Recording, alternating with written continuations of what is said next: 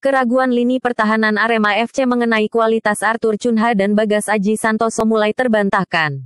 Keduanya tampil cemerlang di babak penyisihan grup Piala Presiden. Nama Arthur Cunha dan Bagas Aji Santoso sempat diragukan kemampuannya untuk menggantikan peran yang ditinggalkan Hamka Hamzah dan Goran Gancev.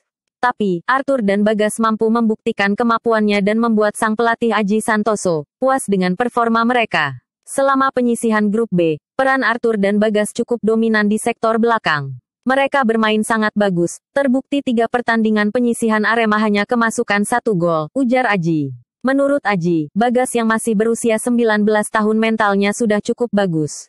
Tak berbeda jauh, Arthur juga bisa cepat beradaptasi dengan gaya permainan Arema. Bagas masih muda, karirnya masih sangat panjang, dia pemain yang punya prospek bagus untuk ke depannya. Sedangkan Arthur dia pemain yang sangat cepat beradaptasi dengan baik, ujarnya. Meski merasa puas dengan penampilan duet Arthur dan Bagas, Aji tak mau anak asuhnya ini lupa daratan. Menurutnya, Arthur dan Bagas tak boleh terlalu berpuas diri dengan performa mereka sekarang.